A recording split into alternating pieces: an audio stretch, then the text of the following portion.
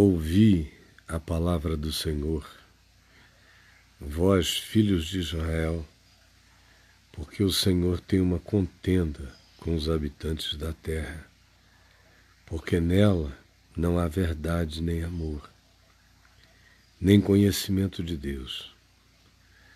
O que só prevalece é perjurar, mentir, matar, furtar e adulterar.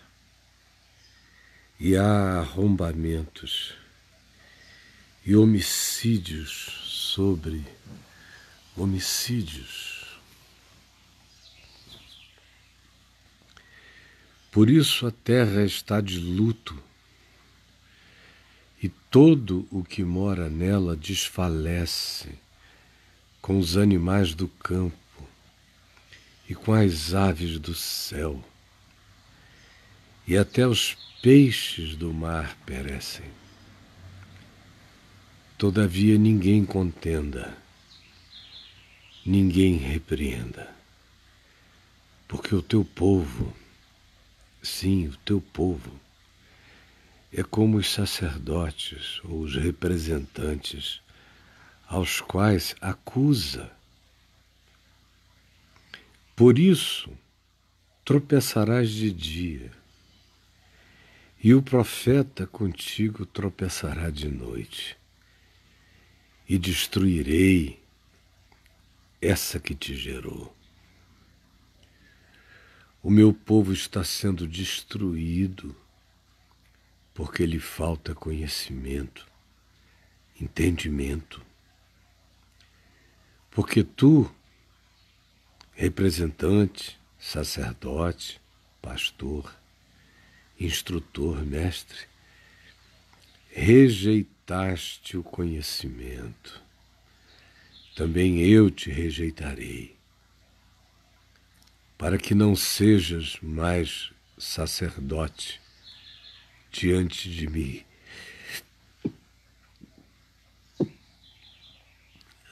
Não sejas mais sacerdotes diante de mim, visto que te esqueceste da palavra, do caráter do teu Deus. Também eu me esquecerei daqueles que tu geraste para o teu capricho. Quanto mais estes se multiplicaram, tanto mais contra mim pecaram. Quanto mais crescem em número, mais aumentam os seus pecados. Eu mudarei o que eles chamam de honra, transformarei em vergonha. Alimentam-se do pecado do meu povo esses sacerdotes ou representantes alimentam-se do pecado do meu povo e da maldade dele têm desejo ardente. Quanto mais corrompido o povo estiver, dizem eles, mais fácil para a gente. Por isso, por essa razão, por ser assim, tão óbvio, como é o povo, assim é o sacerdote, é o representante, é o pastor. É um processo que se retroalimenta. Castigá-lo-ei pelo seu procedimento, diz o Senhor, e lhe darei o pago das suas próprias obras. Eles comerão, comerão, mas não se fartarão. Entregar-se-ão à sensualidade, mas não se multiplicarão. Porque ao Senhor deixaram de adorar em espírito e em verdade.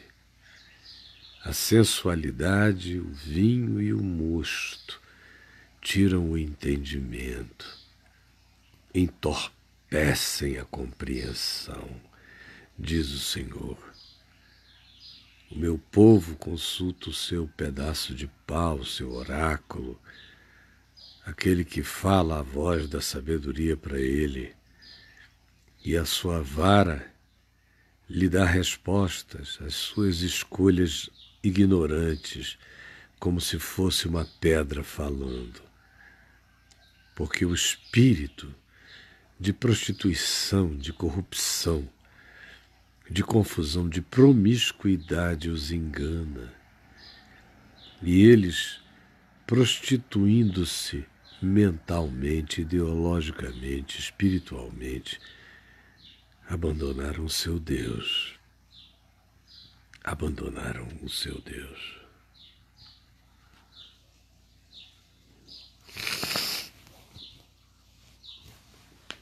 Eles abandonaram seu Deus.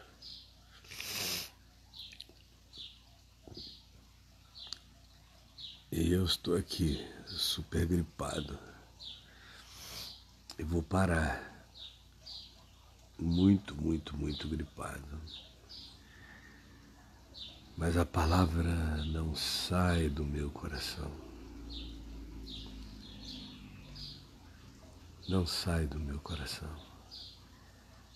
Tem gente que não está nem conseguindo mais ler a palavra sem fazer propaganda política. Vocês merecem o que estão buscando. É, Vladimir Silva Bolsonaro, nossa esperança. Esse é o nome do teu ídolo. Eu só tenho uma esperança e, e ela está no Senhor Jesus, entendeu, meu filho? Os outros todos são pecadores corruptos. Uns são corruptos por dinheiro, outros são corruptos por fama, outros são corruptos porque o narcisismo deles é o Deus deles, eles se autocultuam. Ah, no dia que vocês tiverem um pouco de entendimento, vocês vão ver que a gente, de fato, só está lidando com um monte de bonecos de carne que a gente não está enxergando o que está por trás. Os principados, as potestades, os poderes, as pulsões psicológicas de cada um. Porque cada um que está ali tem pulsões pessoais. Não são coletivas, são pessoais as pulsões. Muito pessoais. Mas vocês pensam que a pulsão é coletiva. Ai, minha gente, eu não tenho, não tenho ídolos. Eu tenho relacionamentos de relatividade. Quem é de Jesus não tem nenhum absoluto, isso é acima de si. E eu só li aqui Oséias capítulo 4, do verso 1 até o verso 11 e teve gente que não suportou. Não mencionei o nome de ninguém, mas não suportaram. São espíritos que não suportam a verdade da palavra e, e partem para expressar aquilo do que está lotado o seu coração. Entendendo? É muito triste que vocês, amigos, tenham ficado nesse estado de doença, de obsessão, de fixação,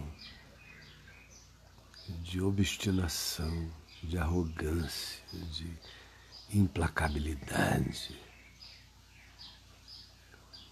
Você não consegue enxergar, não consegue. Tanto espírito perverso tomando conta da alma. Muito espírito perverso, muito ódio, muita obsessão, muito fanatismo, muita loucura. Ah, amigos, ah, amigos, que tristeza. E todo mundo dizendo aqui que é cristão. Não, maioria está em possesso de um espírito que repudia Jesus, o Evangelho. E a mera leitura da palavra já é um choque, uma ofensa. Marina não é minha ídola. Vocês não me entenderam, meu filho. O arcanjo Miguel, se chegar aqui na minha frente, eu digo: Oi, irmão. Vocês não sabem o que é um homem de Deus. Eu não tenho ídolos. Seus bobinhos. Bobinhos. Chega Arcanjo Miguel e Gabriel aqui na minha frente. Deus os abençoe, irmãos. É que devo a honra desta visita. A quem ficou cara a cara com Jesus não fica mais impressionado com Moisés nem com Elias. Vê só Jesus, entenderam? Daciolo é meu amigo, a gente conversa. Eu não concordo com muita coisa, ou quase tudo que ele propõe do ponto de vista pragmático, como política, mas eu sei que ele é um homem sincero. Com Deus ele é um homem sincero, não tenho a menor dúvida disso. E ele também me reconhece assim. É. Uhum. Gente, eu estou passando mal aqui, com muita coriza meus olhos estão ardendo muito. E eu vou parar, era só para ler um texto. Era só para isso. Só para ler um texto. E vocês não param de perguntar, né? Agora passou uma menina ali, é o Cabo da Ciolo ou é Marina? Ah, minha filha, dá um tempo, né? Eu só fui ler Oséias 4, olha como é que está o negócio. Olha como é que tá o negócio. Já vim aqui, é só fofoca, é só fuxico. É, é uma possessão coletiva. É uma possessão coletiva.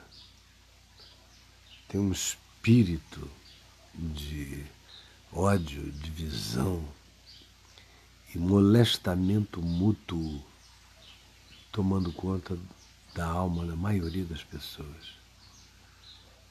É muito doido isso. Muito doido. Não, eu não parei de ler por causa de nada aqui, porque eu nem olho para vocês que escrevem aqui nada não. Eu me concentro no que eu estou fazendo. Eu parei de ler porque eu estou muito gripado, com uma grande coriza aí, precisando me recolher, tá bom? Um beijo para vocês, Deus nos abençoe e eu vou me cuidar só um pouquinho. Paz.